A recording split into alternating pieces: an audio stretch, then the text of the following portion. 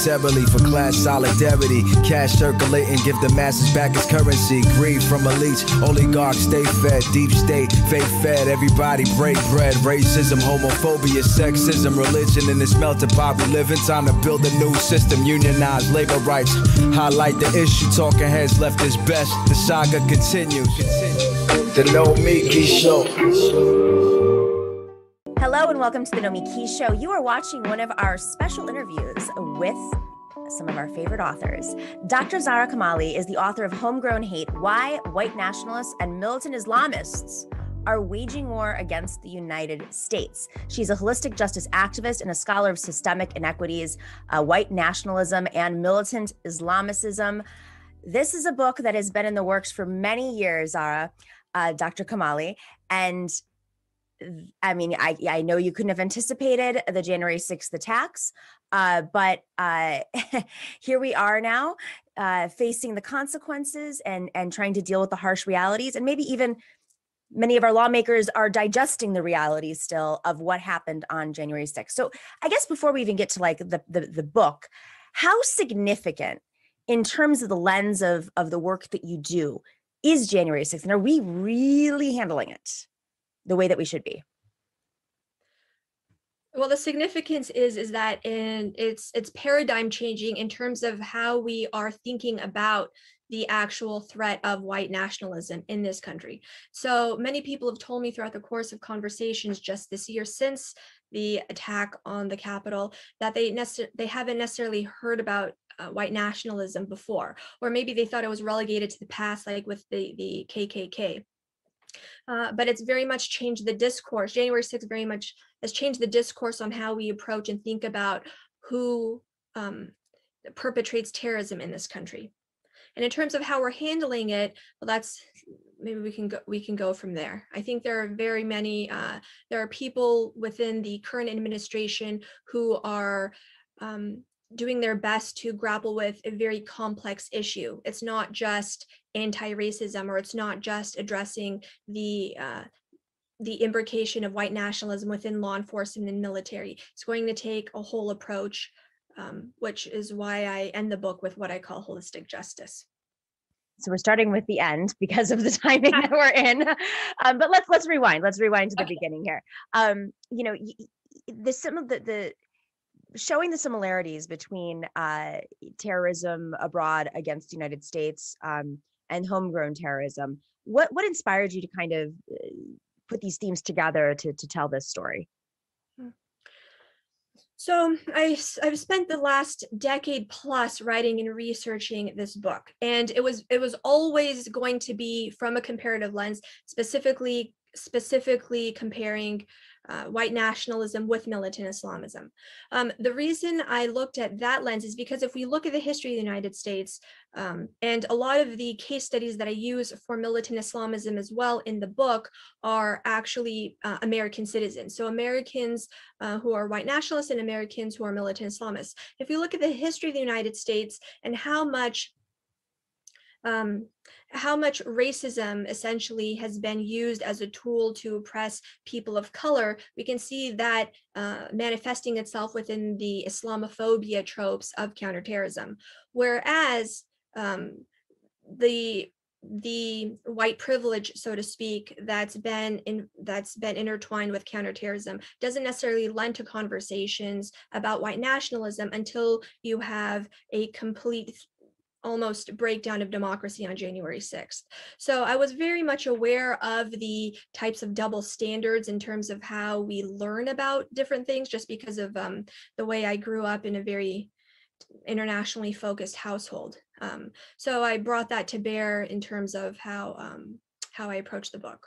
And also, if we look at even the media I grew up, what some of my first news memories were of Oklahoma City bombing, which still to this day is the deadly deadliest terrorist attack by an American citizen on U.S. soil to date, and that was on April 19, 1995. And then a few years a few years later, we have 9/11, and that was perpetrated by 19 um, hijackers of uh, Arab Arab nationality, and yet we had a war in Afghanistan and then a whole type of criminalization and, and culture of surveillance that was really born from that targeting people in the United States. So it's those kinds of disparities and dichotomies in terms of in policies that um, really mm, really uh, piqued my interest and I wanted to explore that more.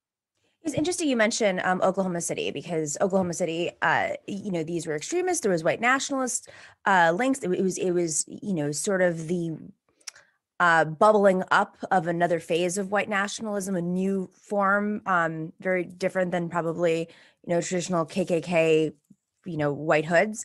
Uh, but also, at the, this is the Clinton administration, um, the Bill Clinton's, I think, first term still, and simultaneously you had the first attacks on the world trade center happening uh, not too far yeah.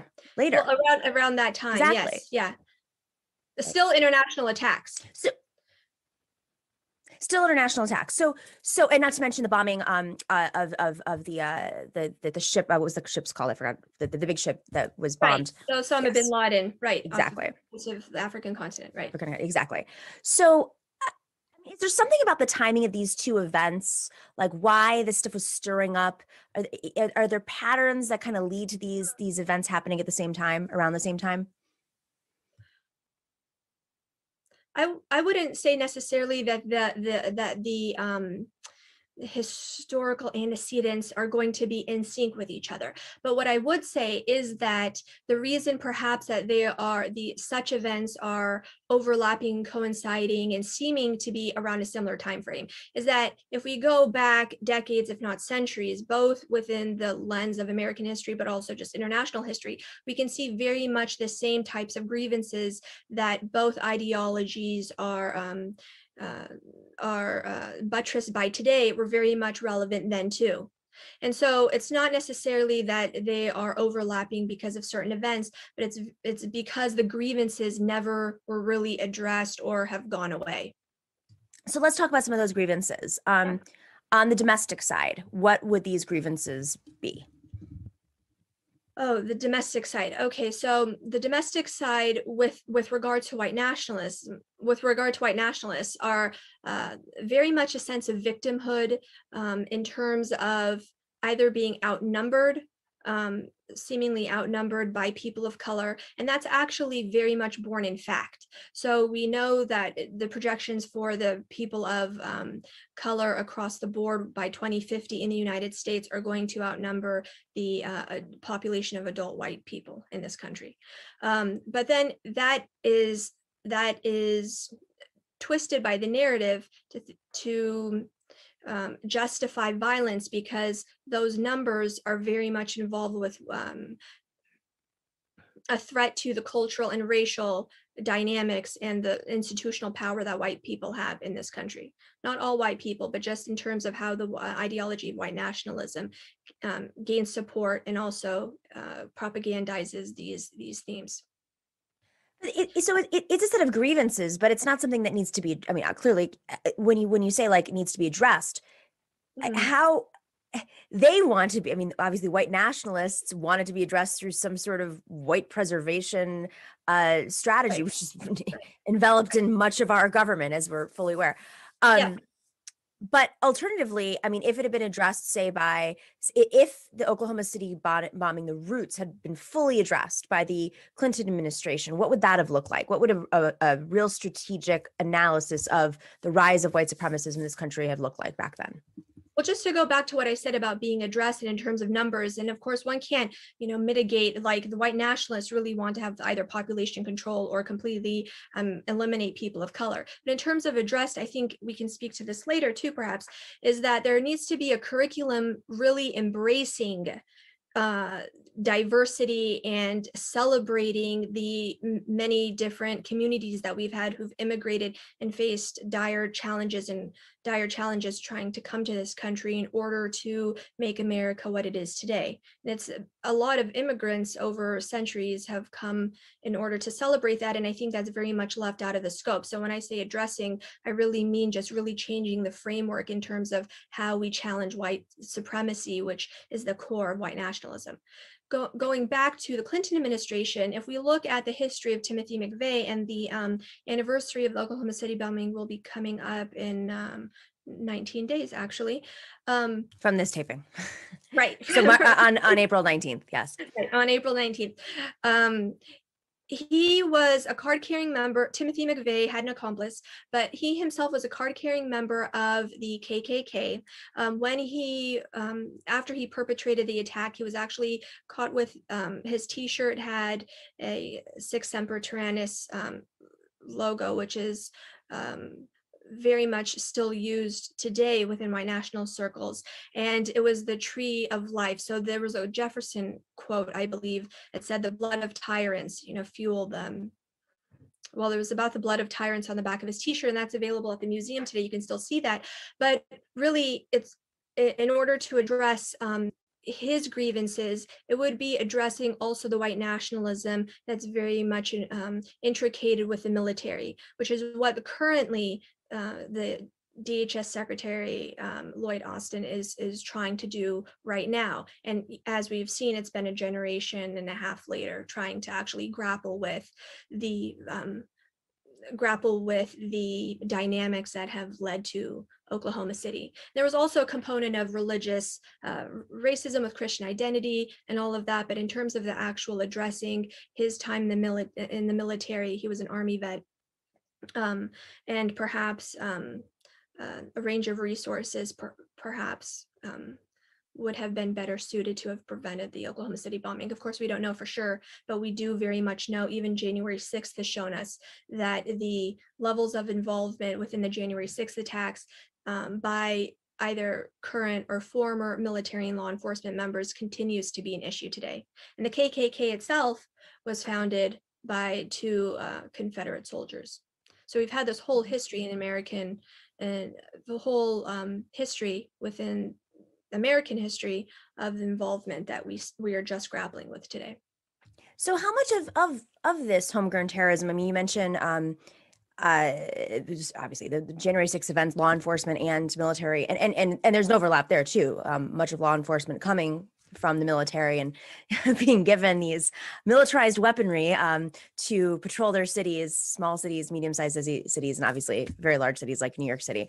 Um, so there's definitely an overlap. But how much of I know it's not necessarily measurable, but how much of the white supremacy and the white nationalism that's happening, organized or otherwise, um, in this country right now throughout history really is an effect of our expansive uh, military industrial complex. I mean, and we haven't even gotten to what the imperialism creates abroad uh, with right. with in terms of um, uh, you know homegrown hate and and and, and hate abroad.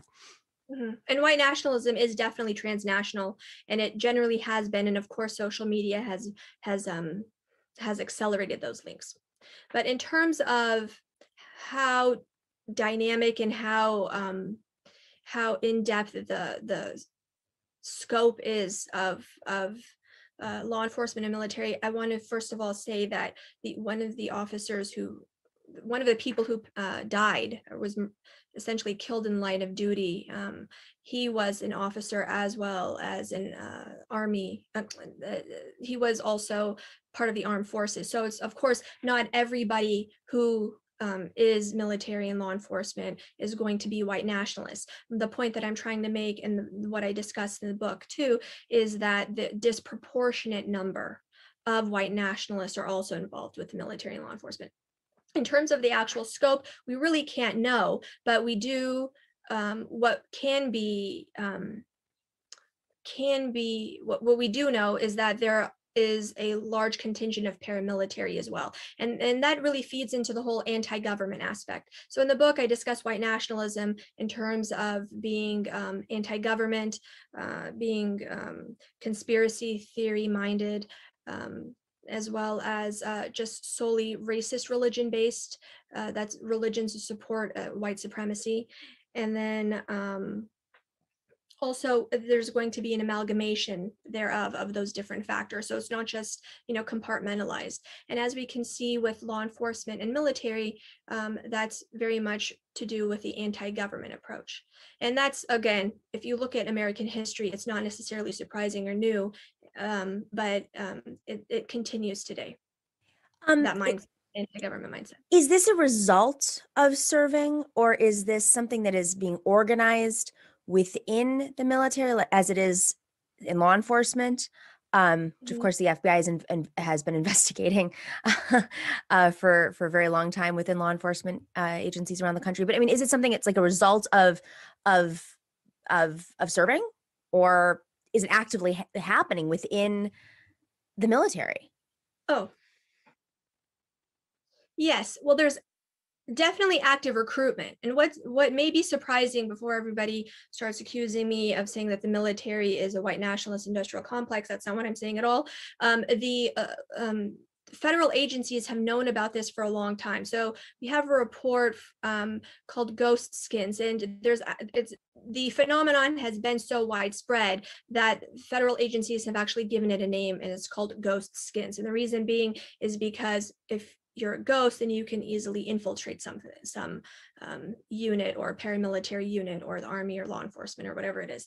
Um, uh, so it's it's very much a, a present reality, but I wouldn't say that it's necessarily. I think perhaps from what we know about the types of recruitment is that perhaps the army and law enforcement may uh, be attractive to a particular type of individual. And then also um, the access to weapons and tactical training is particularly important for current white nationalist groups who then actively recruit um, within law enforcement and military circles. So I wouldn't necessarily say it starts with the military, but there is definitely needs to be an awareness. And again, um, Secretary of Defense Austin is is currently addressing that, and I'm sure I'm sure he'll do a good job. Does this rise in the uh, in the ranks? Uh, what do you mean? I mean, um, uh, do you higher up you go? Yeah, does it move a higher up? Yeah. Okay, so the higher up you go, the more white nationalism, for example. Or, or are there people who are higher up? I mean, is this is this simply um something as a result of being oh. uh do you understand what i'm saying like yeah. I, I i wouldn't speak to that i i'm i i wouldn't speak to that because i'm not um i'm not involved um i'm not a um, i'm not serving my country in that capacity um but what we do know is the federal agencies of this country um, such as the Department of Homeland Security, were born out of 9 11. And the question has yet to be um, addressed or answered if um, the institutions that were built because of 9-11 can address the post January 6th reality. Partly because they were more focused on uh, the threat of Islamic uh, t- terrorism and militancy, right. right. rather than homegrown militancy. Um, okay, so let's let's let's shift to uh, the other side. Mm-hmm. Uh, you know you've you've studied uh, Islamic militant organizing. Um, you're talking about how it can be homegrown here as well. I think we've seen a lot of that happen. Uh, you know, publicly, we've seen, you know, in Europe, uh, women being recruited to go fight ISIS, not knowing what they're getting into. Uh, young young women uh, marrying at a very young age, trying to to flee Syria, for instance. Um, you know, we're hearing these stories; they're making it into the mainstream more often. But has this has this always sort of been part of it, or is this a new uh, the iteration? role of women? women and just um you know the homegrown um islamic uh you know militancy well it's interesting you bring it up because uh in terms of um comparing the dynamics of American citizens involved with militant Islamism in the United States is actually much different than European citizens and um, naturalized or born within Europe. Um, but women and I'm, i know you that wasn't necessarily the heart of your question but women in particular have been both targets as well as perpetrators of white nationalism and militant islamism whether um, in the united states and uh, and in europe. Um, but in terms of in terms of numbers and cases um, well it's actually a completely different dynamic. But if we go back to the american and Mm, you know we hear about these things in the mainstream media but there are many reports that have have calculated the numbers on different rubrics um, and define militant islamists american citizens in particular and then white nationalists uh, american citizens in particular and then calculated numbers in different ways and most of them have said that while american militant islamists actually had more victims and this is pre uh, pre january 6th um, that the number of attacks were few and far between.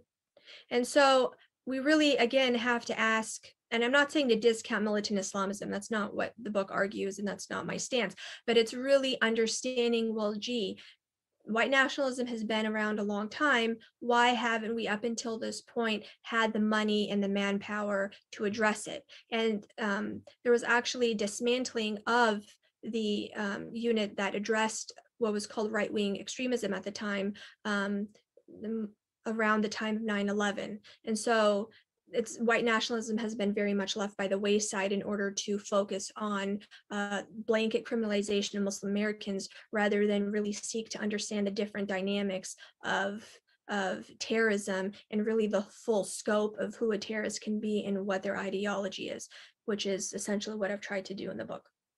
So, so why did they dismantle that? Um, clearly, there's enough money to do both. Right. Yeah, there's enough money to do both. Um, what happened was that um, Daryl Johnson, he um, was a DHS analyst, and um, he can speak to this for himself. So sorry, Daryl, if I'm putting words in your mouth. Um, but uh, he headed a unit, researched um, the threat of right wing terrorism, that actually received a lot of public backlash, in part because it was um, imbricating uh, what it was um, addressed Army or veterans of the armed forces as possible mm, not necessarily targets, but as possible uh, targets of recruitment for white nationalists. And that led off a whole clamor of events that ultimately led to uh, the dismantling of the unit and then also a public apology um, as well to different veterans groups. So again, we have we have to look at American history and really to understand the full scope of of why we prioritize one type of terrorism and why we maybe criminalize one type of terrorism versus another. So, I mean, what does it look like? Um, militant Islamicism, uh, you know, yeah. how, how is it how is it structured here? Is it something that's being organized abroad and then brought over? I mean, we for those of us who are old enough to remember uh, post 9-11, there were these narratives in the media. Um, much of it was dismantled and and pulled apart years later, but uh, I, it's hard to kind of get a sense of, of where the infrastructure is, where the money's coming from, how people are being recruited. What's, you know, is it all just digitally and online? I mean, is it the same as the white nationalist, you know, recruitment infrastructure? Or as a result, I mean, there are so many people who've served in the military and who are disgusted by what they've had to do, uh, radicalizes them the other way? I mean, how does this all kind of fit together? Yeah. And I use the term militarized instead of radicalized for a variety of reasons, but you're right in terms of even the case of Nidal Malik Hasan, He served in the military. He was a, uh, an arm, uh, psychologist in the armed forces, and he was apparently disgusted with what he really didn't. Um, he really did not want to uh, deploy to Afghanistan as a as a Muslim, and then he unleashed a wave of terror um, at Fort Hood in 2009, um, which was of course completely devastating. So uh, there is that component as well that really shouldn't be disregarded. Um, but in terms of recruitment, okay, so post 9-11 there was a lot of uh, terminology around lone wolf cells and there were these cells and there was a lot of talk about lone wolf cells and basically what that did was that make every person who identified as muslim very suspicious because of course if you're a quote unquote lone wolf then any person who identifies as Muslim can be uh, capable uh, of violence. Essentially, that was really what the narrative was was trying to, um, or seemingly trying to um, um, implic- implicate essentially all Muslims in in this country. But in terms of the actual dynamics of recruitment, what we see is that social media has very much um, allowed for recruitment and again, across the board. And I'm not saying to discount militant Islamism, but there's a reason why this book is comparative. And that's because a lot of the dynamics are very much the same, um, different but in terms of social media and the usage of it is very much the same. In terms of lone wolves, there's no such thing as a lone wolf, which is why I devote a whole chapter onto the myth of the lone wolf because as we can see no matter what the ideology is there's going to be influence um, and involvement and um, ties whether ideological or physical uh, ties and by physical i mean like actual direct communication like um, like we're having right now. Or it's going to be a matter of well hmm i kind of searched this and i fell into quote unquote rabbit hole rabbit hole of of ideology and the you know social media algorithms etc are feeding me all of this stuff which i now believe um, which has happened in san bernardino um, attacks with with the husband and wife.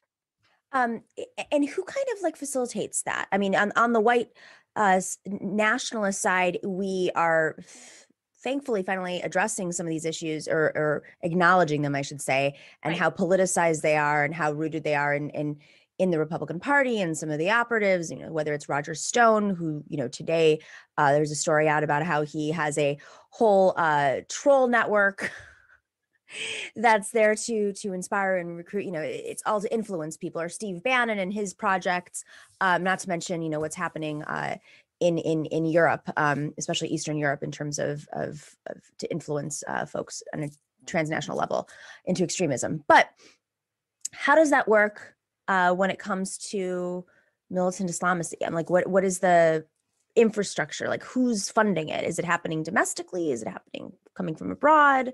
How sophisticated is this ecosystem of of influence online? Well, I would say that the networks that are available Okay. So in terms of there's a there's very sophisticated media outlets that that proselytize um, messages of of hating America or hating the United States and hating uh, and that includes the hate of Muslim Americans or um, uh, apostates or um, people who don't uh, uh, uh subscribe to a particular version of Islam. And um, I would say that the the infrastructure on that side and the, um, on in terms of media is very sophisticated. But in terms of the actual groundwork and networks here in the United States, it's not going to be as complex um, as we were once perhaps made to believe by various narratives. And I think that that type of rethinking and reframing um, in terms of what the actual threat is is going is, one of the components that must be addressed if we're going to effectively counter the real threats. And i'm not saying militant islamism is not a real threat but i'm just i'm saying that we need to actually look at the complete um, the complete dynamism of threats to national security of which white nationalism is one. Is there any overlap in terms of of um you know taking a really big picture here right now uh there's a tremendous amount of evidence at this point that there are foreign interests that are invested in pushing white supremacy in this country through the right wing. Um there are definitely foreign interests who have uh, Syria is sort of like this this uh this this root of where many of these interests are kind of uh, playing, you know, tug of war right now. Just keep it very simple maybe is what you're trying to say. What was that saying? What was that? Central hub, maybe. Yes, yes, central. Very well said. Yeah. Um, is there some sort of overlap? Like, do, do you find that some of the the narratives that are being pushed to mm-hmm. radicalize um, on both sides are coming from the same folks? I wouldn't say the same folks, but it's really interesting you mentioned that, and that's something I I uh, take uh, care to examine in the book um, because I would say that the narratives of white nationalism, militant Islamism, even transnationally, um, very much play off of each other and they incite each other. And so we have, again, if you look at the historical context, and that's necessary to understand the scope, uh, we have the Crusades. And that Crusaderist ideology and imagery is used on both sides in order to leverage this either Islamophobia component that we find very much um, intertwined with many facets of white nationalism in this country um, and around the world. Or uh, on the militant Islamist side, you have, well, we need to, the Crusades are ongoing as well. And so um, I would say that the narratives and the points of recruitment um, play off of each other. Yeah, and actually, uh, um, there have been incidents of very few, um, but there have been incidents of overlap between memberships of you know, white nationalist moves to militant Islamists, vice versa. That's been very few, and that's um, not necessarily because of any ideological um, ties. I think the person was probably wanting to be part of a grander narrative with whatever was convenient at the time. Yeah. Playing into egos. Um, okay, so what do we do about it?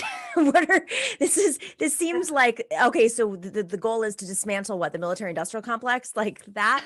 Um, I mean, how do how do how do we as a society address this? How do we speak about it? How does government address it? Um, you mm. know I, am it's refreshing to see that this administration is at least acknowledging it uh, openly rather than um, internally but uh, i assume that there needs to be more done quickly. Yes um, so in terms of well and this is the academic side um, which might be annoying to some uh, listeners and viewers um, it really depends on who you ask. So the and we each have and the reason i'm saying that is because of course people in administration and government levels are going to be able to do certain things which people on the ground uh, civilian so to speak can cannot. Um, but what we can each do is really um, understand and that doesn't necessarily mean agree with but seek to understand the how white supremacy has been leveraged uh, by institutions um, and that includes education, um, in order to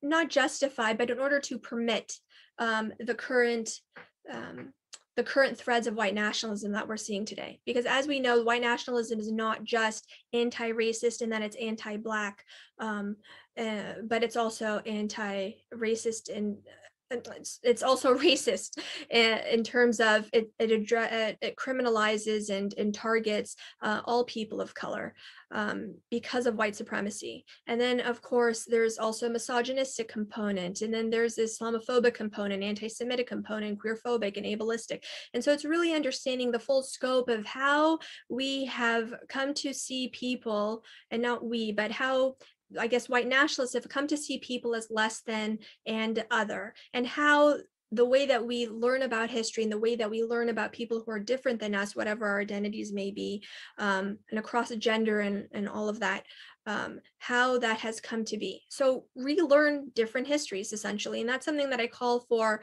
this this um, what I call holistic justice is really uh, really uh, buttressed by what I say is empathy and that's learning about each other's history and learning about what white privilege is and learning about Islamophobia and learning about all these things and how the counterterrorism paradigm is very much propped up on that. And then also anti-oppression. So what can you do given where you are um, in order to create solidarity with communities of color. And if you're white, what kind of privilege can you exercise and leverage? And if you're able-bodied, what kind of privilege can you exercise and leverage? And that's not me being woke. That's just me trying to address um, or giving agency, you know, or uh, mm, let's see, highlighting that people have agency with you know do what you can with what you have where you are right now. And and um i really so january 6th doesn't happen again. And that's because we were as a country and as a global community we're not necessarily we're allowing things to happen um that really shouldn't be happening. Do you feel that our lawmakers in Washington who get briefed on these things have a good sense of how connected they are? Well, they would have a greater sense if they read the book, or at least were briefed on the book. Um, so mail it to every single law- Democratic lawmaker. There you go. Just yeah. do your book tour on Capitol Hill. well, they should at least read a summary or something. Somebody, yeah. somebody needs to have Some a video.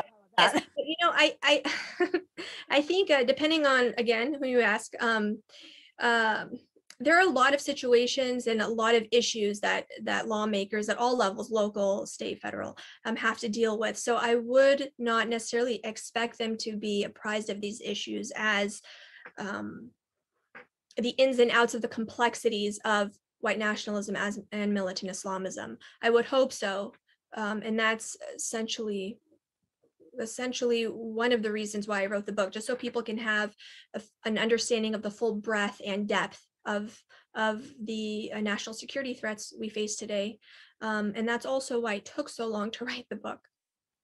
Well, I mean, it's it's it's fascinating that this book came out of um it, it comes it comes out in April of 2021, um less than a year after the biggest uprising uh after the George, George Floyd murder. Um we're on this day the the trial is is taking place. Uh you know, the the defendant of course is is the officer that murdered George Floyd.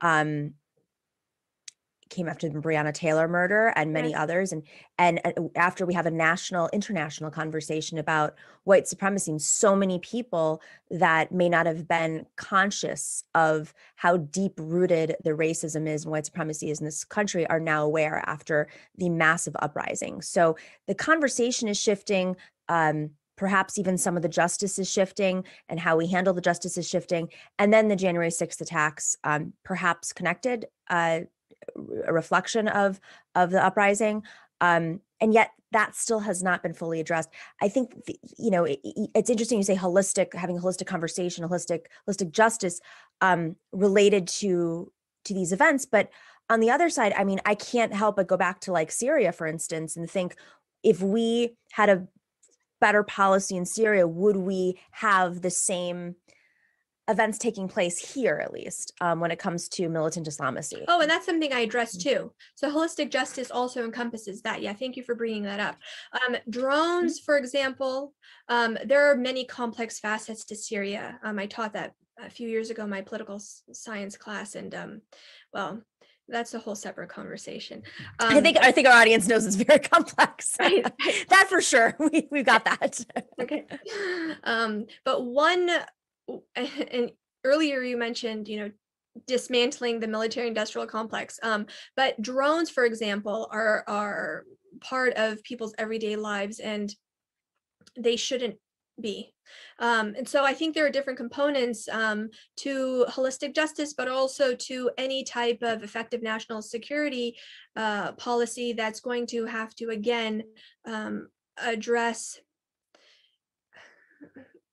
address the fact that very often people and very oftentimes civilians are are seen as um, not deserving of the same rights and dignities as one would have for oneself.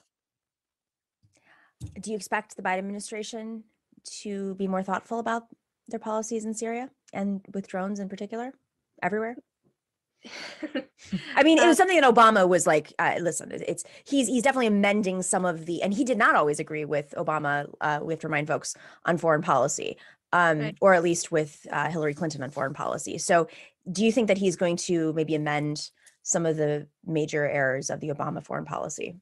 Well, we have to also see what's happening with Afghanistan as well. Um, so, in terms of foreign policy, um, I would hope that the current administration, in trying to address white nationalism at home and understanding the full scope, um, uh, not just within the military and law enforcement, but also um, the different components of white nationalism at home, would take justice seriously, um, how American foreign policy, particularly um, within Muslim majority countries, very much plays into the hands of militant Islamist propaganda.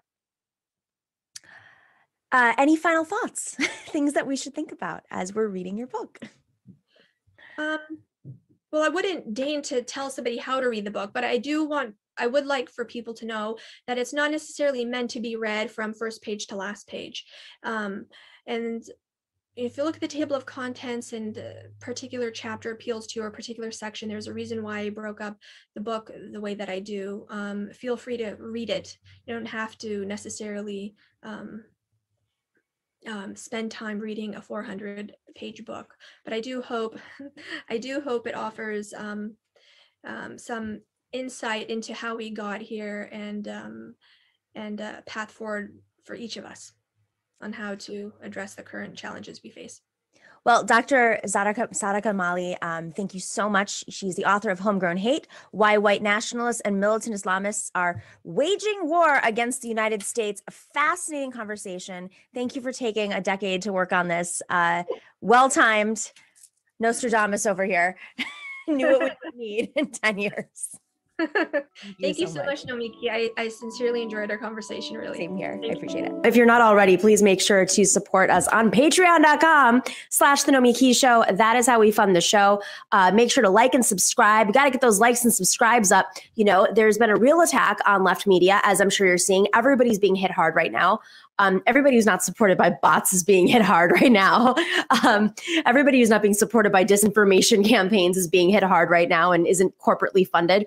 So please, if you can, and if you haven't already, and you're capable of becoming a patron or upping your patron, oh my God, that would help pay for another patron who maybe we've had lo- we lost along the way because of the economy.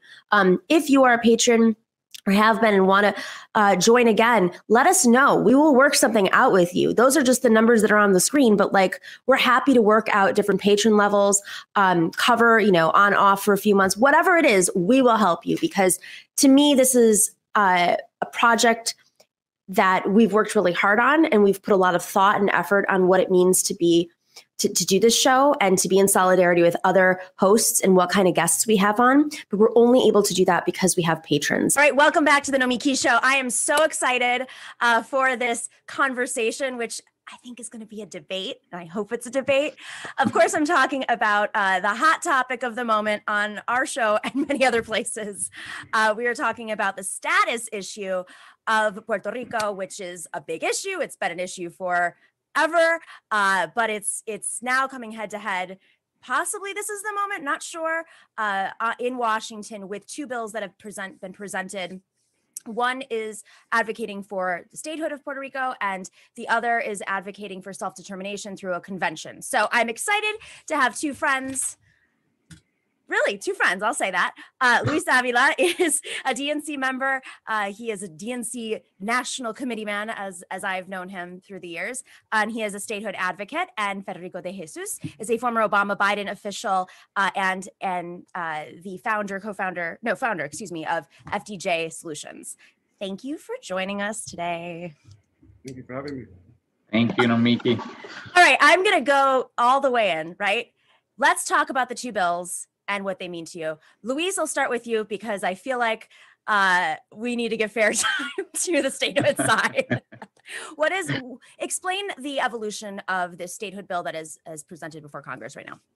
Okay, so essentially, a bill was filed in Congress that uh, would basically offer statehood uh, for Puerto Ricans and for Puerto Rico to ratify uh, the vote that already happened and occurred back in November, where 53% of, of the uh, voters voted for statehood.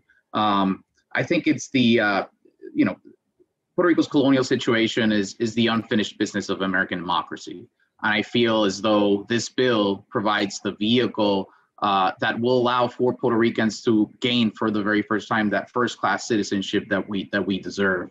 Um, you know, I think uh, Puerto Ricans deserve a, a, seat at the table, and and uh, to the extent that we are not represented and actually have voting power in Congress uh, and the people who enact the, the laws that affect uh, all of us who live in the island.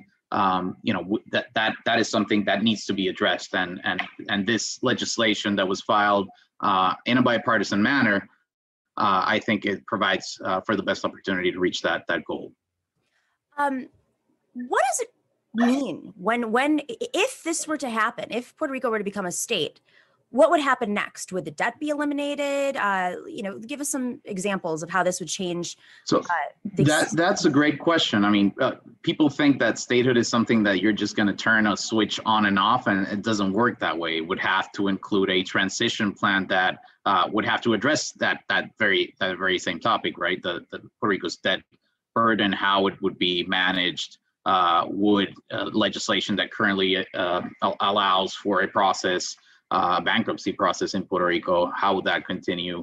And and definitely the tax system will need to be changed and many other federal programs on the island will also would also change uh, but i think that's that's one of the what that's one of the the, the things that need to be addressed especially by congress uh, because at the end of the day uh, the the buck stops, stops there so it's, it's all decided by uh, by congress under the territorial clause and that's something that needs to be negotiated and approved as part of the statehood admission process well this process would be taking place would as a state as all states in the union i mean this happened to louisiana and hawaii and and parts of alaska um, which mm-hmm. did not speak english first would the island be forced to start uh, legislating and you know everything from the courts to the legislature uh, would it be forced to be pushed into english well right now our official we have two official languages in puerto rico by law it's spanish and english um, we have federal courts operating in Puerto Rico. They already operate in English. Our state courts are mainly operate in Spanish, but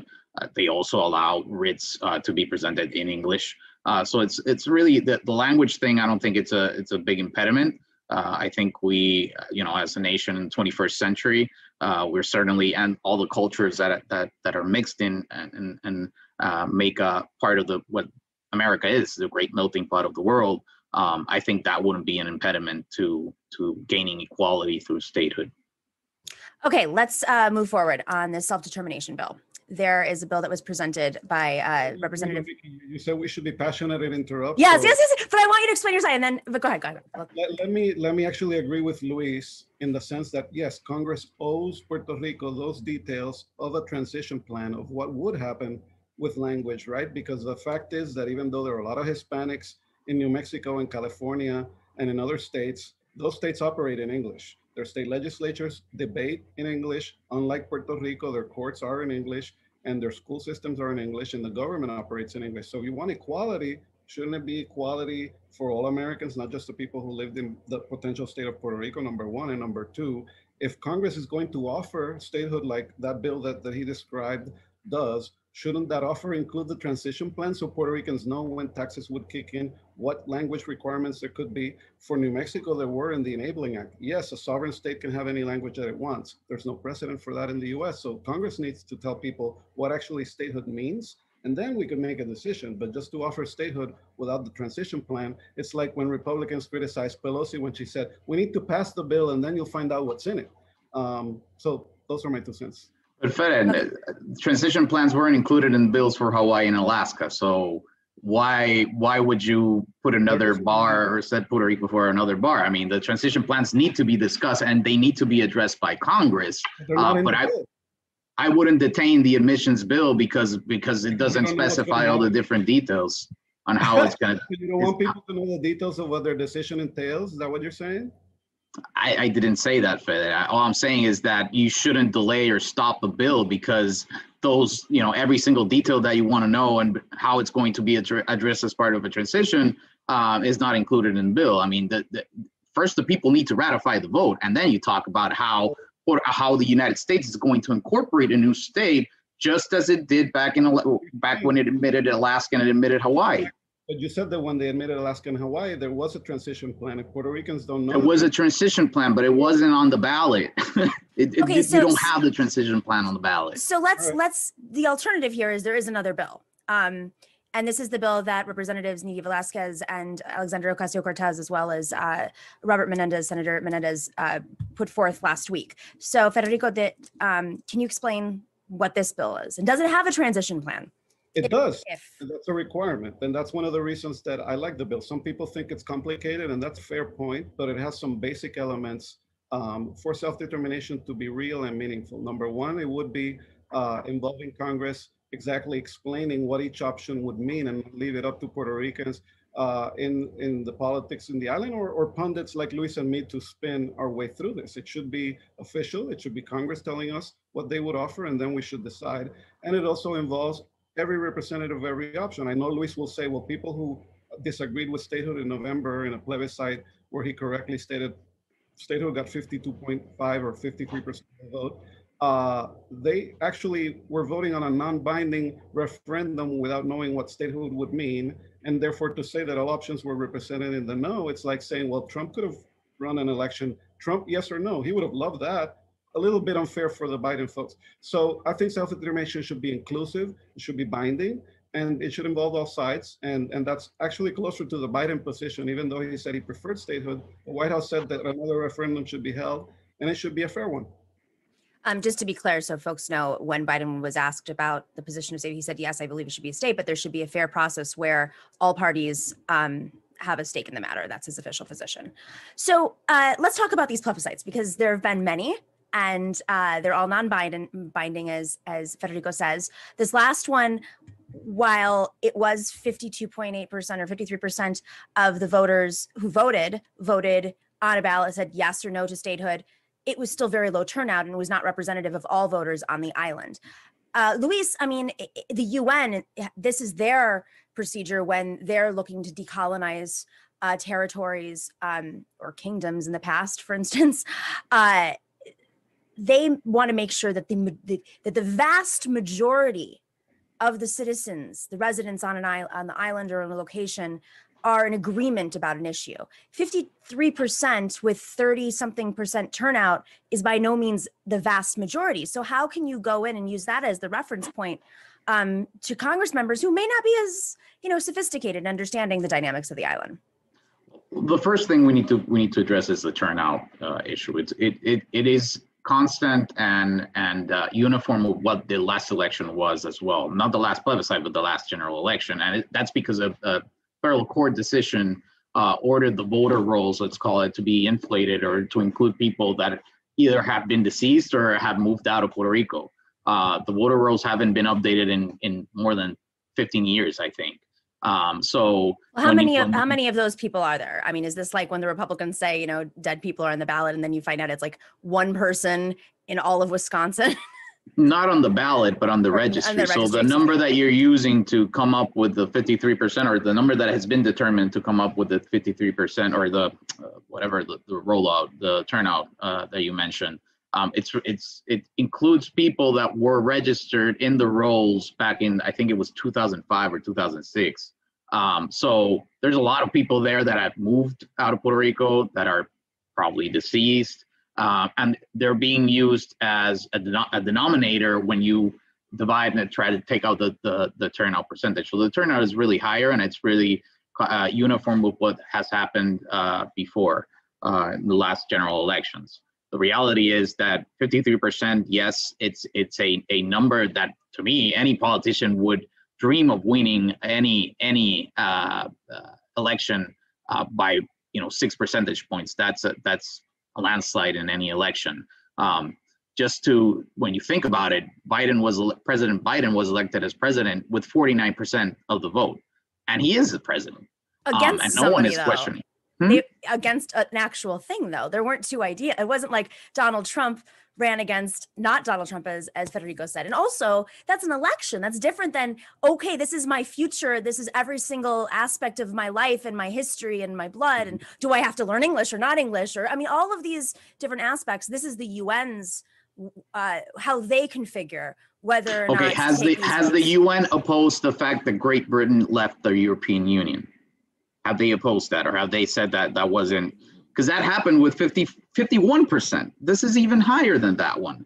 I mean elections matter. elections have consequences they, yes, but they weren't determining they were determining whether or not they were leaving an arrangement not they weren't the uk was not beholden to the eu they were tied into many measures but they weren't a colony essentially of the eu they determine their own laws. There's no fiscal oversight it was still, I understand that, Nomi, but it's, it was still a self-determination exercise. So, I mean, okay, you know, we're, we're going to talk about what percentage works in one self-determination process and which one is not. I mean, it should be the same bar. Let me agree with Luis again. I don't really like the whole argument, even though I'm not a statehood proponent. Uh, I don't like the turnout argument. I prefer to use the argument that it was exclusive of other options, and it's not Federico de Jesus saying it. It's the U.S. Department of Justice saying it in 2017 when there was a referendum there was a boycott.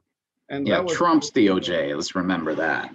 yeah, quoting Obama. Let's get to era that. Okay. All right, we, we, we, we only have a few minutes, but I want to get to this. So speaking of Trump, uh, co-chair for Latinos for Trump presented this. This is your resident commissioner who identifies with the statehood party. How do you feel, DNC member Luis Davila, the statehood party that right now is mem- many members on the island today are uh, defending conversion therapies. How do you, DNC member, feel about this party being the major um, carrier of this mission on the island and on the mainland?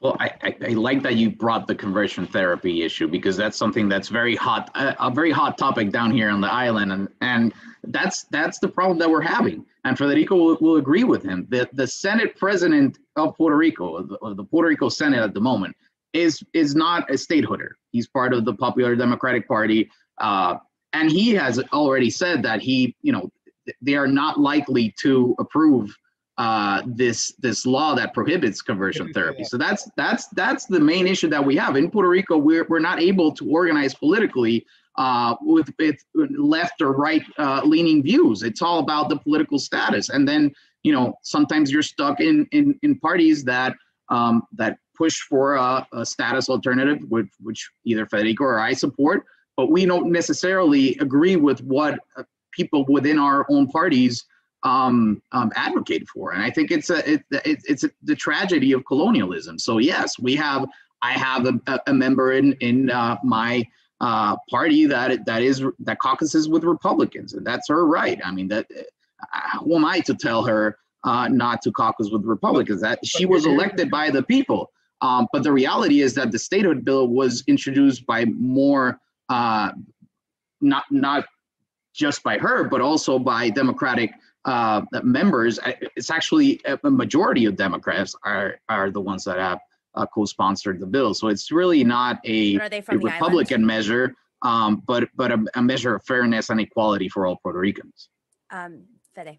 But Look, Luis is right again. The bipartisan bill that the stateholders are promoting is bipartisan. And he is right that there aren't left or right politics in Puerto Rico. I opposed the Commonwealth candidate in the last election because he was a homophobe. Um, and he was calling gays uh, sinners, and that's appalling. And by the way, the Senate president did vote to ban con- conversion therapy. He just said he wouldn't uh, opine this time until the vote happens, which I think that he should say that I'm against it, but whatever.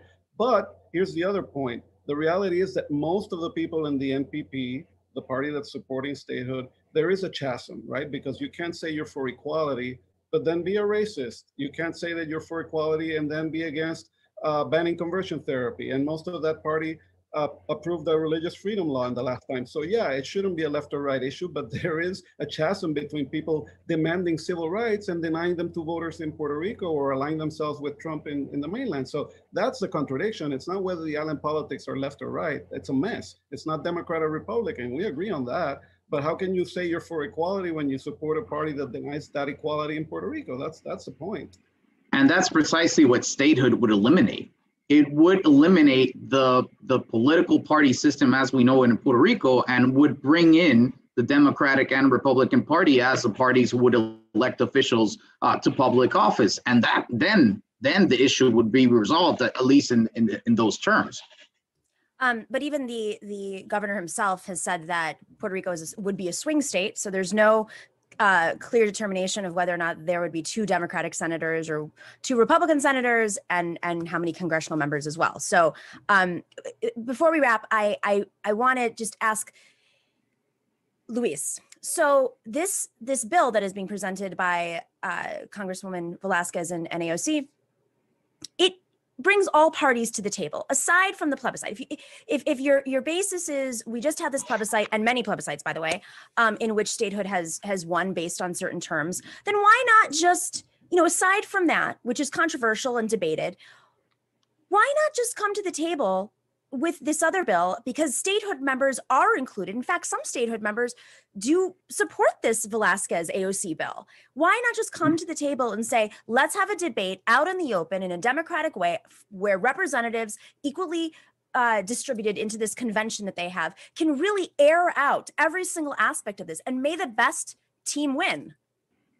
I mean, I think I think there's room for debate, but I think the bill needs needs a lot of work. I mean, the bill, at you know, first of all, it it included it, it, it opens the door for non-territorial options other than statehood independence and free association, which are the only three recognized options. So by opening that door, it, it, it, it allows for the process to even become more complicated and potentially potentially the convention coming up with a proposal that at the end of the day Congress will not be able to act upon. But that's what the Um, negotiating commission is for in the bill, so that people know, oh, wait a minute, Congress wouldn't go for that. That's in the bill too. But the, the, the, the bill says that it uh, allows for any option. Uh, Other you know, in addition to uh, independence and others. So it's already saying that it will allow for it. So, I mean, that's just one of, the- that, that's just one of, the other thing is, at the end of the day, after going through all this process, you end up in a non-binding uh, referendum. Fede, Fede, Fede, Fede, go ahead, go ahead.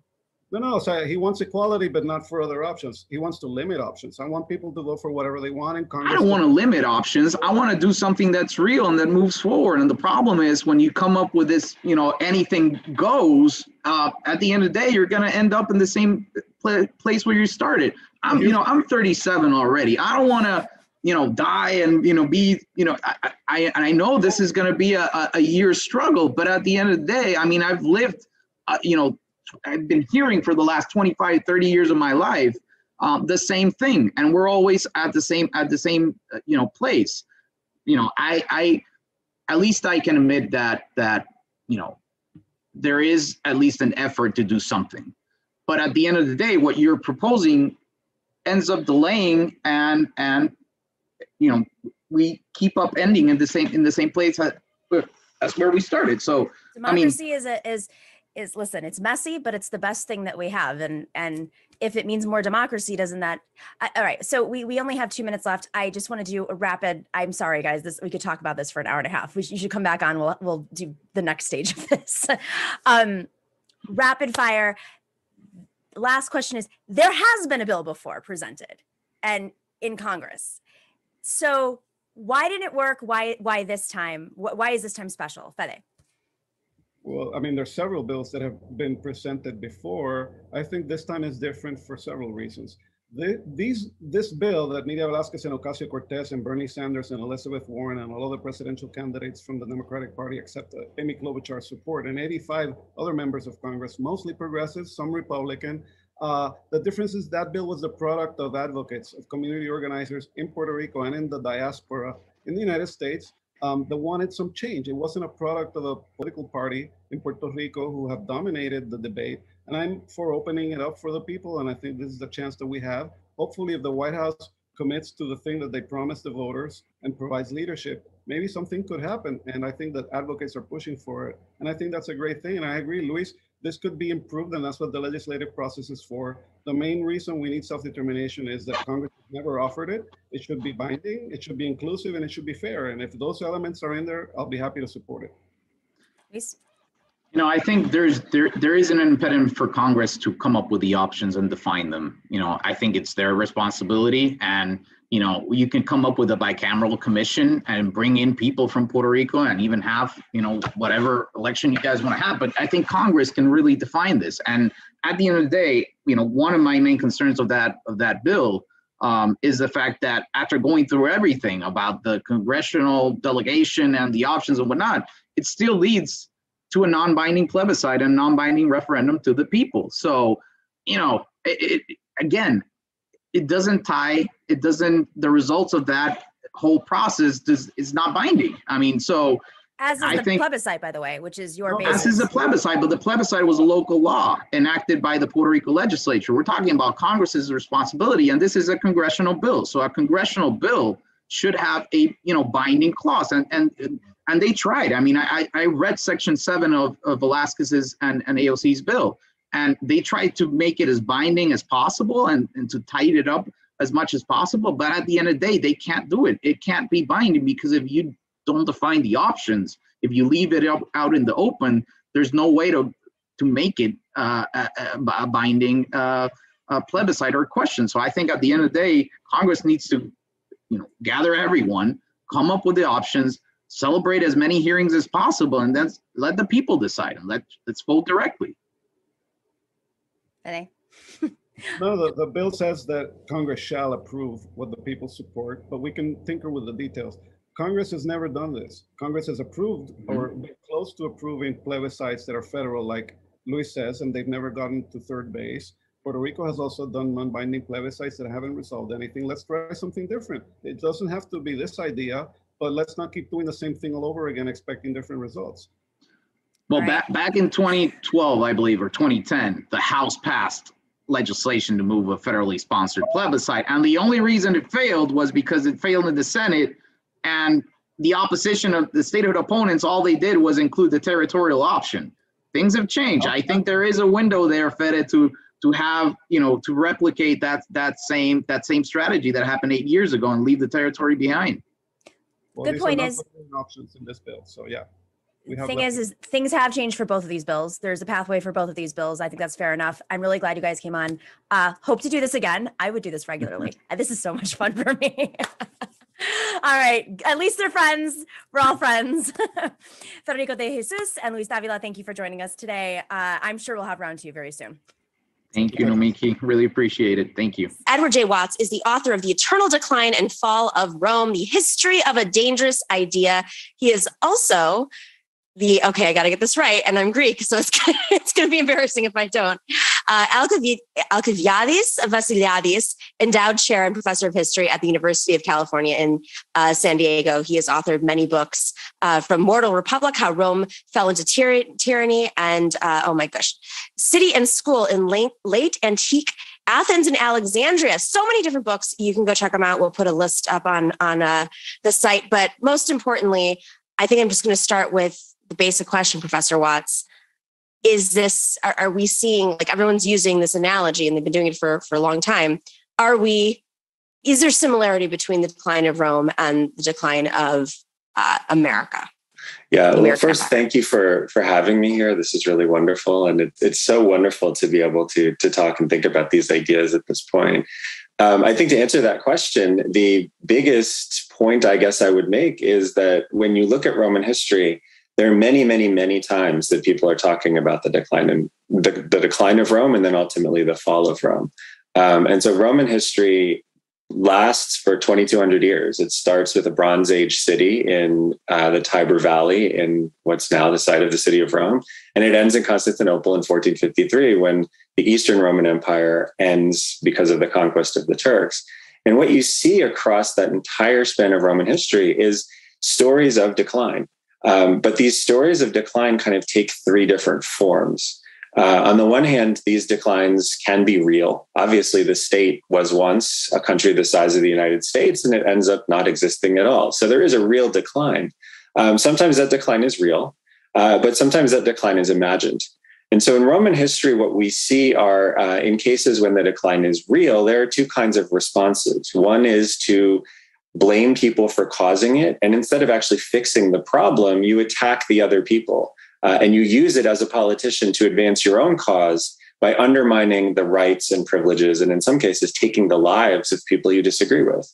Um, but in other cases, we see emperors like Marcus Aurelius or the emperor, the Byzantine emperor Leo, uh, focus instead on building society back up uh, and not targeting other people for the problems, but instead finding what everyone can do to move those move society forward and address those issues. Um, but I think the third kind of decline is in some ways the most dangerous. This is the dangerous idea in the title of the book. Um, and that's a decline that doesn't really exist. Um, it's something where there is a change going on in society, uh, but society is not getting noticeably worse. And by any objective measure, you wouldn't look at it and say that the society is getting poorer or less robust or less strong. Um, but you still have politicians capitalizing on the unease that people feel about social change. And they then target people they blame for causing that imagined decline. And those are the situations in Roman history that are, I think, the most profoundly destructive because there isn't a problem you're trying to solve aside from the fact that people are uncomfortable. Uh, and so there isn't anything that you actually have to do to make society stronger because society is doing relatively well. Instead, what you're doing is advancing your own interests and targeting other people in society. And I think of those three examples of Roman decline, obviously there are real challenges that the United States is facing. Um, and there are real things that we need to fix. And I think there are people trying to push forward an agenda of bringing society together uh, and trying to address these problems collectively. But there are also people who are fixated on ideas that don't actually um, have anything to do with the real challenges of the economic dislocations of COVID, the virus effects. Instead, they are doing this dance of imagining decline and cynically using it to advance their own interests. And I think we're seeing that in our society as well. And so I think when we look at Roman decline and narratives of Roman decline, we see kind of two things that can help us right now. Um, one is we can identify these cases where people are bringing up imagined decline to try to target other people. Um, and we can also see that there's a very real way to address the challenges that our society is right now facing because of COVID and things like economic inequality, um, environmental challenges. These are real problems. Um, and these are things that we collectively can address. So I think Rome gives us a couple of ways to think about where we are right now. Um, and, and I think it gives us a couple of ways to try to make better the society that we're struggling to kind of bring back from the trauma of 2020.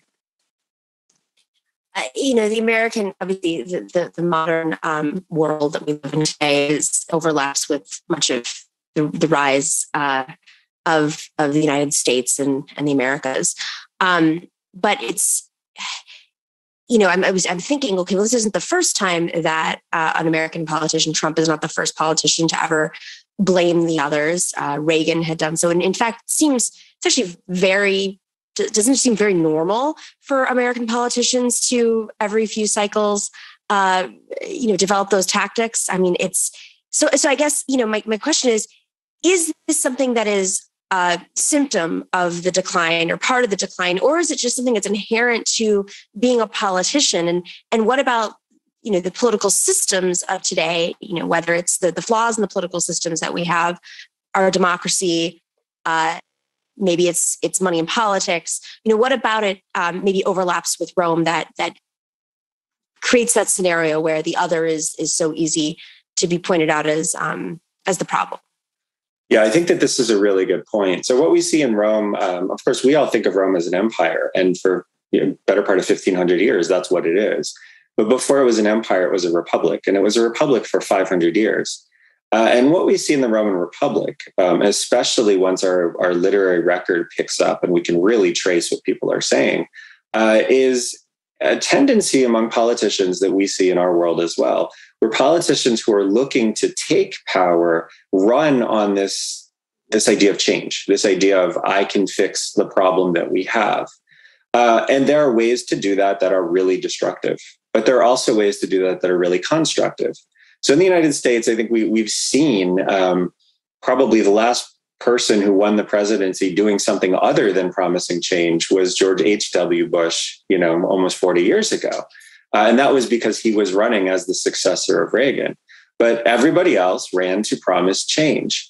Um, but sometimes when they promise that change, um, and I think Obama is a good example of this, mostly Obama was promising to bring us together to move the society forward, you know, to a positive view of change that was supposed to bring everyone together, not red America, not blue America, but America.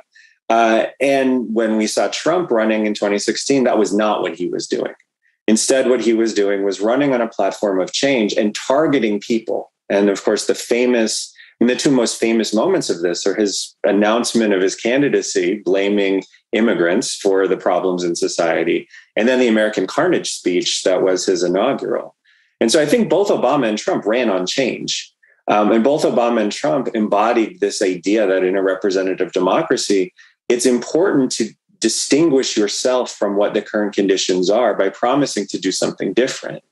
Um, but you can do that in a constructive way that brings people together to collectively solve problems, or you can do it in a destructive way that divides society and tries to bring together people to combat each other. Uh, so your partisans are mobilized to combat with the people that you don't agree with.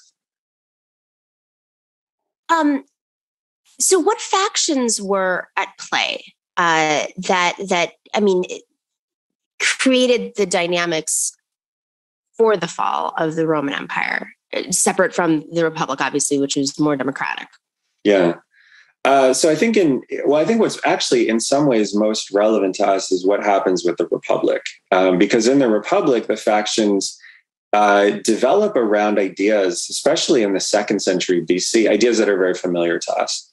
Um, and so in the 120s BC, there is a politician named Gaius Gracchus who runs on a platform of change to try to fix the economic conditions of people who are dislocated uh, because of economic inequality and because of a rapidly changing economy that um, benefits the people who understand the new economy far, far, far more than the people who don't understand the new economy.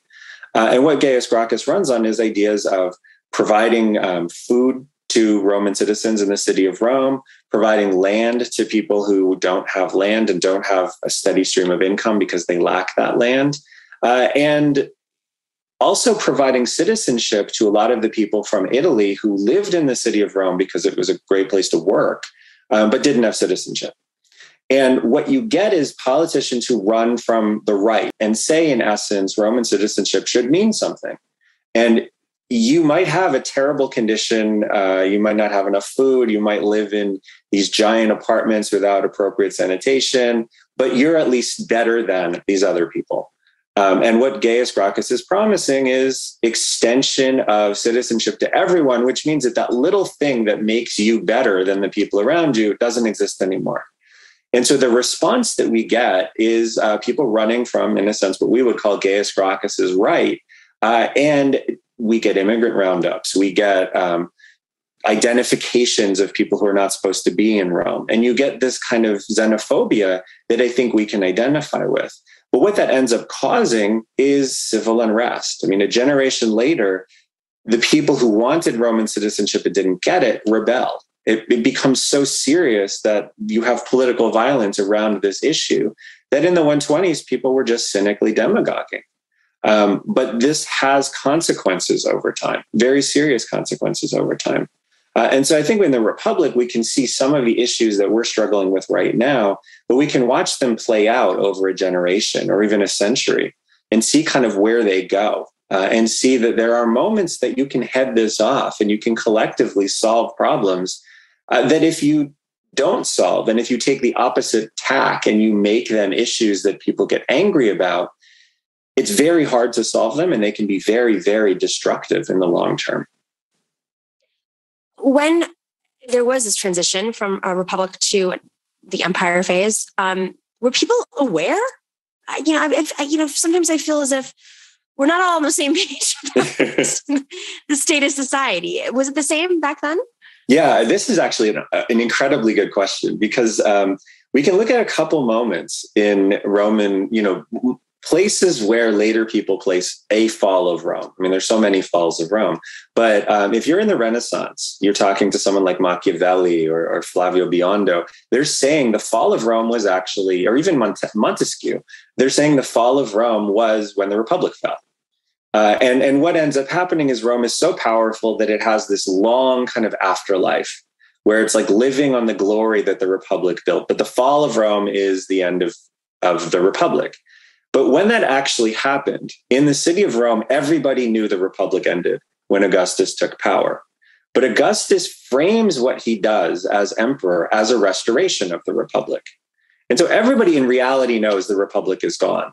But the propaganda says the republic is back. It just has a new form. And Augustus is the kind of caretaker of the republic, but the republic is still there. Um, and so in 30 BC, 27 BC, wherever we want to place this, um, this date, uh, what we have is officially the restoration of the republic, but in reality, everybody knows it's gone. Um, the flip side of this is in the year 476, the date that we are all taught is the fall of the Western Roman Empire. Well, in 476, nobody knew that the coup of Odoacer that overthrew the last Italian Roman emperor reigning in Italy was anything significant. Nobody, nobody thought this was the fall of Rome. The only reason we think that it's the fall of Rome is because uh, in Constantinople, 40 odd years later, they invent this as a fall of Rome to justify the Emperor Justinian's invasion of Italy. Uh, and so, with the fall of the Republic in 3027, wherever we want to date it, it's one of these things that officially Rome doesn't fall, but practically everybody acknowledges, everybody knows the Republic is gone. In 476, to us, officially this is the fall of Rome. But at the time, not a single person recognized it as the fall of Rome. It's an invented moment of transition.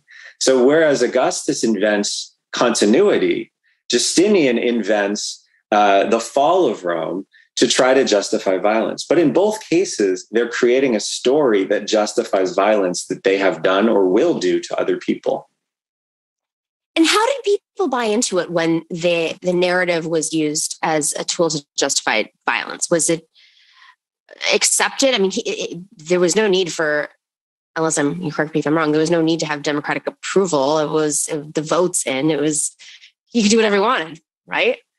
Yeah, with Augustus, um, he actually stages elections but everybody knows how to vote. You know, if you're going to run in that election, you have to have Augustus's approval to run. And there's somebody who tries to run uh, when Augustus has set up this system, and he ends up getting, you know, arrested and killed. Uh, so you have the veneer of democracy, but everybody knows what the game is at that point. But I think with Augustus, the the reason this works is Augustus has in the civil wars that precede the creation of the empire, he's killed basically everybody who's going to oppose him. Um, and so you you know what the deal is. You know that if you oppose this system, you are going to have a big problem. Um, for Justinian, it's more challenging. Justinian also has killed a large number of opponents before he invades Italy. There's a very famous riot in Constantinople in uh, 532 that leads to the burning down of a lot of what's now the area around the Blue Mosque, Hagia Sophia, and Topkapi. Uh, and Justinian um, suppresses this by locking tens of thousands of people in the chariot racing stadium and having archers come in and shoot them. Uh, so Justinian has also gotten rid of a lot of people who disagree with him. Uh, and so when he promotes these ideas, if people do disagree with these ideas, they're being very careful about how they say it. Um, but I think a lot of people who are left in these kinds of societies where you've had this massive bloodletting, they either won't say anything or they genuinely support the person who's actually doing this kind of stuff. Hmm very familiar in different ways. Um, how did uh, international opposition? It's not the right term. Uh, how did how did other powers uh, across the world respond to seeing? You know what? What, what did they perceive, perceive Roman decline the way that uh, whether it was Justinian or Augustus using that rhetoric? Because you know, I think that I, only speak from modern perspective. I was at a conference here in, in the EU a few weeks ago, and it was like the word was not out about the US like saving the EU from. I, I just thought, how different, you know, that the, the, everybody there that was American was like, America's a mess right now. There's no way that that the US can save you from, you know, Orban. And of course, Tucker Carlson you know being in Hungary right now, yeah. uh, you know, praising Orban is is is a great example of how that's not happening anytime soon. Coming from us, we're we're still trying to you know fix our democratic elections so progressives don't get elected. that's what we're focused on keeping. Um, but I mean, I say that I say that in jest because it's like we're not all on the same page about yeah. the state of where the U.S. empire is, depending on obviously which world power or alliance you talk to. Was it like that? Um, during the decline over thousands of years? Obviously, it's a little bit different. It's actually it's really interesting because there are people who try to take advantage of the situation in Rome to do things to Romans by using this story of Roman decline. So there's a couple of great examples that immediately come to mind. Um, in in the reign of Justinian, there's actually a Persian king, um, and so one of the many things Justinian is doing is persecuting pagans um, because Justinian feels that as a Christian emperor, everybody in his empire should be Christian. Uh, and the Persian emperor, a man named Khusro, uh, decides that you know he's he's pagan and he's actually very positively inclined towards Greek philosophy. And so there's a group of philosophers who are actually in Athens. Um, and Justinian closes their school, um, which is the intellectual descendant of Plato's Academy. Justinian closes that school and then confiscates their property and says that they will not have full citizen rights unless they legitimately convert to Christianity. And so they go to Persia as refugees. Uh, and they get uh, asylum from the Persian king. And in a peace treaty that the Persian king negotiates with Justinian, the Persian king demands that they get special protection for their religious rights. Um, and in the war that preceded that peace treaty, the Persian king had invaded what's now Mesopotamia, what's now Iraq and Syria, and had taken territories that had pagan majorities and had said that he is the, the liberator of these pagans from Christian oppression. And so what he's doing is using this story of basically a decline in Roman legal protections for religious minorities as an excuse to fight. Uh, and then he's able to position himself as the protector of those groups in this peace treaty so that if there is a renewed persecution, he has cause to then break the peace treaty and invade again. Um, we later see both Charlemagne and the Fourth Crusade use ideas of religious decline against what we call Byzantium, but but which everyone at that moment called the Roman Empire. Um, and so Charlemagne says that the reason he can attack well, what is the Eastern Roman Empire um, is because the Empress Irene is reigning as a woman. And because there's no emperor, uh, therefore there's no empire, therefore the title of Roman emperor is vacant. And so Charlemagne takes it. Um, and it's just a but cause. This is all just over a gender thing. Well, at the end of the day? yes, that's officially it. You know, it's it's there's wow. a woman in charge. Uh, so you know, so because there's a woman, we can attack. There's no emperor anymore. Um, and there's a religious component to this as well, but this is what it centers on. Uh, and the, the war doesn't go very well for Charlemagne, and he ends up stopping. It doesn't really do very much. Um, but the Fourth Crusade uses a very similar justification for the sack of Constantinople, where they say that the uh, Greek Orthodox Church is basically heretical. Um, the Greeks in Constantinople are not behaving like good Christians and they need to be corrected. And so they attack Constantinople, sack the city. And um, this is the great catastrophe of medieval Greek history. Um, I mean, to this day, this still shapes a lot of the um, a lot of the, the sort of conditions that Greeks live under. It's a very, very significant event that is framed as a narrative of Roman decline and a need for correction from the more orthodox, the more correct the um, Latin speaking West to come in and fix the decadent Roman Greek speaking East. Fascinating. So, so just for folks who may not, you know, have as much knowledge about uh, Greek Orthodox religion, um, what was so how how how is the Orthodox Church misbehaving? How you know because it, I grew up in the Greek Orthodox Church. It's uh, very conservative, and and and I've been to many other churches, and it's not as conservative in modern day. You know the way that we look at it in in in the modern world. But obviously, there were other things that were dividing um, philosophies that were dividing the churches. So could you just you know highlight some of that and how it relates to today?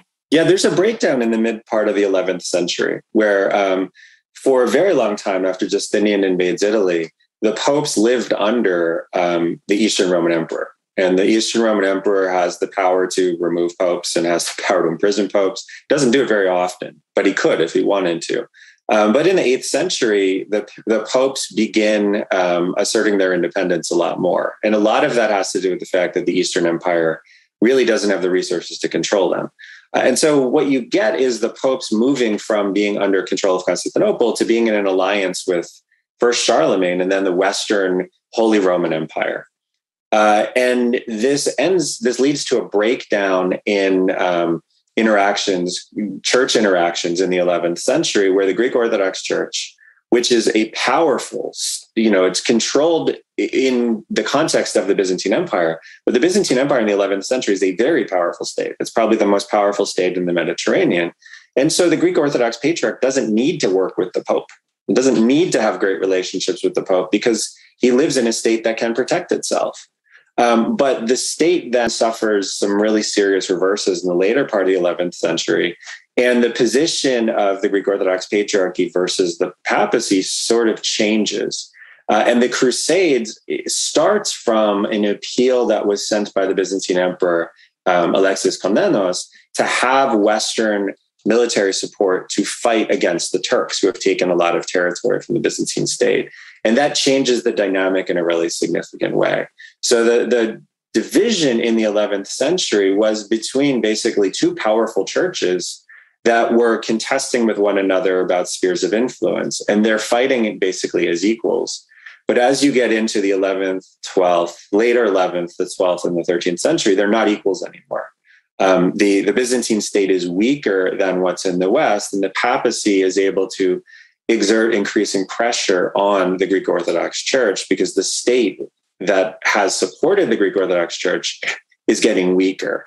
Um, and so the in a sense, what what starts as a contest among equals ends up being the West kind of pushing the Greek Orthodox Church. And that makes it perversely a lot harder for them to find any agreement because uh, one is doing, in a way, violence to the other.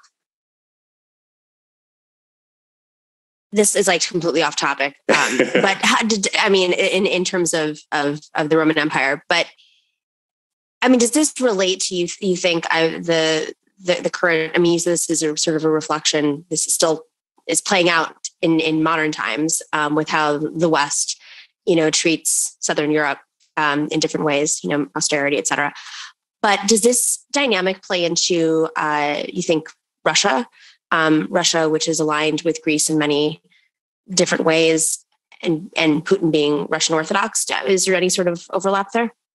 That's a really interesting question. I mean, I think that from the Greek perspective, this is just a dominant story. Um, one of the things, as as a Roman historian who works on the Greek Roman Empire, one of the things that drives me crazy is the fact that this Western story that starts with Charlemagne that says that the Eastern Roman Empire is not Roman even though they call themselves Romans, even though the state is called by the people living in it Romania, even though the Greek language as we know it now was called Romaica, the, even though all of those things were true, the West takes that away from Greeks.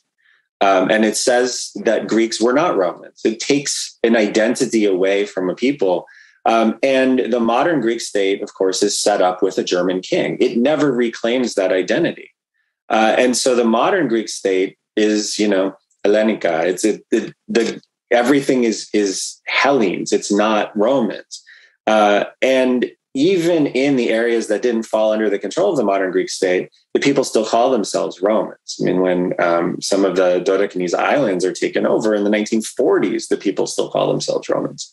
Um, and so I think that for me, what's particularly striking is this story of Roman decline that starts in the ninth century has actually robbed modern Greece of a very, very important part of Greek history. I mean, a thousand years of Greek history has been taken away. Um, and the contributions that Greeks have made to controlling and protecting and developing the legacy of Rome has all been taken away from them. Um, I think Russia has, uh, under the czars, stepped into some of that void. Um, the idea of Russia and and um, Muscovy as the third Rome, is Russia stepping into some of that void.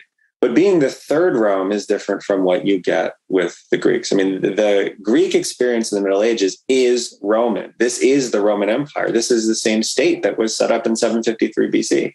Um, the Russian state is not. And so with Russia, it's a little more complicated. It's this idea of a kind of translation of empire.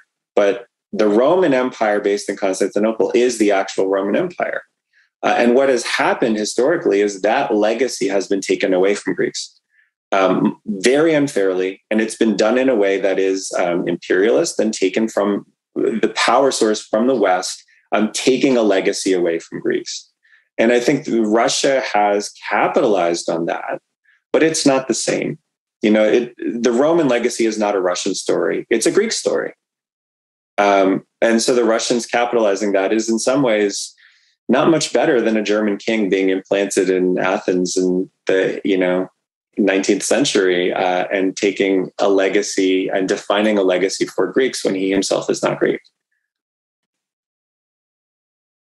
Um, super interesting. Okay, so so I guess just to to, to loop it all back, uh, comparing uh, the fall of Rome, the, the, the long fall of Rome, or the use of of the excuse of the fall of Rome um, as a tactic. You know, where do you think we stand uh, in the Western world today? Uh, let's stick with the United States. Forget about you know NATO and the EU and everything else.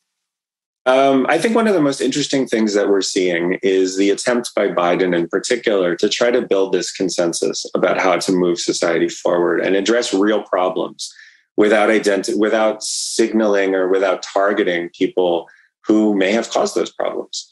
Um, you know, I, I, think that there is a way to do this, and Roman history gives us a few examples of this. Um, I think Marcus Aurelius is the best example, where in the um, the period Marcus is, is emperor, the 160s to about 180 uh, AD, the Roman Empire is hit with smallpox, a series of military challenges. It's it loses probably 10% of its population. Um, this is a disaster, like a straight on, there is no doubt about it, disaster. But if you read the historians who talk about Marcus Aurelius, who lived through this period, what they say is that this was actually Roman golden age. Uh, and with the death of Marcus Aurelius, Rome starts to decline. It's very hard to understand how anyone could say that until you start reading what Marcus actually did during that time. Um, what Marcus says he did and what the historians agree he did uh, was to go through Roman, to go through the people in Roman society who could contribute to a restoration of Rome. And what Marcus does is he identifies what they're capable of doing. He doesn't blame them for what they haven't done. Instead, he finds tasks that they're capable of doing. He assigns those tasks to those people and he praises them when they do it well. And so, what he creates is a sense of a society that is collectively coming together and using its talents in a very strategic way to rebuild after really serious trauma. And I think what Biden is trying to do is that um, where what he's trying to do is target bad policies, not demonize the people who created those policies, but change the policies and let the people contribute as they're able. Um, it's very hard in our political climate right now to do that. And I think we're seeing some of Biden's frustration really coming out. But I think Biden is trying to do, in a sense, what Marcus tried to do um, find ways to bring together everybody who wants to contribute to the restoration of society, identify what they're capable of doing to bring America back together so we can collectively solve our problems, and give us all a sense of pride in making progress um, to address the issues that our society is encountering. Uh, I think we're seeing it's a very hard thing to do. Um, it's very, very hard when a group of people are targeting you to, in a sense, um, look away from that, not respond to that, and instead focus on the contributions that the positive contributions that people can make, um, and encourage them to make those positive contributions. So I think this would be the lesson that Rome would would offer to us. I mean, there is a way to take these overlapping disasters that we are experiencing right now um, and make our society stronger but it's really hard to do. Um, and I think we have leadership right now that's trying to do that. Um, I think we have to really hope that it can work. We have to cooperate to the degree that we are invited to participate in this. Um, we have to cooperate with that recovery. But I think the way forward is, you know, to focus on bad policies, uh, change the bad policies, and get everybody on board in a fashion where we aren't demonizing others. We're instead collaborating and cooperating um, and doing the best we can to solve and address the problems that are around us. Um, and, you know, and I think what Marcus shows is when a society does that, there's a tremendous amount of leeway that's given to leadership. Um, you know, the, the fact that you're trying to do something that positive actually matters even if you can't solve the problems. Marcus doesn't solve smallpox. I mean, the worst of smallpox actually happens in the 190s but he made people feel like they all have something to do to move that society towards addressing that problem. And that matters. Even if you can't fix the problem, those steps matter in making society stronger. Um, Rome was burning, don't throw a grenade into it. you know, it's it's i mean but this is it it's like don't feed the trolls you don't there, there's yeah. we talk about this all the time on the left is is is how do we make sure that we're not fighting with each other and, and focusing on the bigger crises at hand and it's very hard because it's um, we as humans are not, you know, we're, we're not put in for the most part. Most of us that are just online are there getting out our, our frustrations. And oftentimes we can feed each other and feed the divisions. But leadership, I mean, I, it's, it's, it's hard thing, I think, for many of us who probably didn't support Biden um, to just digest and say, okay, he is neutral, trying to neutralize the climate right now that is not the actual climate, but the the political climate that has been so toxic and continues to be toxic. And and there are folks who make a lot of money and um, get a lot of support by being flamethrowers. And so, how do you not engage but neutralize? You don't respond, and you just you know keep calm and carry on. I guess is the best way. And you know we still have border camps, so uh, maybe that's yeah. Biden's smallpox, and it's not actually a pandemic. Yeah, and and I think that that's really key. I mean, I don't think I think Biden is is a man for this moment. Um, I don't think that this leadership mm. style would have worked in 2008. I don't think it would have worked in 1992. Mm. Um, I, I, don't know mm-hmm. that it's going to work now, but uh, it's encouraging to me, at least, to see that I think Biden is doing this deliberately. You know, I, I think that this this policy of being mm. deliberately boring and being deliberately constructive and and being kind of deliberately dull. I think it's actually very, I think he's thought it through. Um, and I think that he has made a decision that this is a way to approach things at this moment. Because um, this is what the moment, you know, this is something that can help at that moment, at least in his view. Um, and it, I think you're exactly right. It would not have, it wouldn't have worked at other times. Um, when you have other yeah. ways to approach problems or other sorts of problems, this isn't what anyone would have wanted. Um, and it's not even how Biden exactly. ran in the past. I mean, in '88, he's a flamethrower. Um, yep, yep. So it's it's. Uh, I mean, can only hope, I guess. Uh, he's got a lot on his plate. So if if folks on the left have to be the flamethrowers to get him to do things like extend the eviction moratorium and push the CDC to extend it, then maybe that. But um, you know, he he does have to adapt the times and the crises as well. So really interesting conversation. Um, super fascinating. I think we're having a connection issue. I don't know if you can, you can, can hear me. Yeah. I apologize, Professor Watts. Please check out uh, The Eternal Decline and Fall of Rome, The History of the Dangerous Idea author Edward J. Watts. We are going to have the link in the description. I'm glad that the sound had a problem at the end and not during the interview. Uh, but so far, most of it was great. Thank you so much, Professor Watts. Hope to have you on again soon. And I'll let you know uh, how things go here in Athens with my my my crusade to rediscover democracy and hopefully learn some things and take it back. I really well, that'll be great. That'll be great. And thanks for having me. And um, this was a lot of fun. And I hope we didn't go too far into the the Greek experience to uh, make it work. But no, I, I enjoyed it.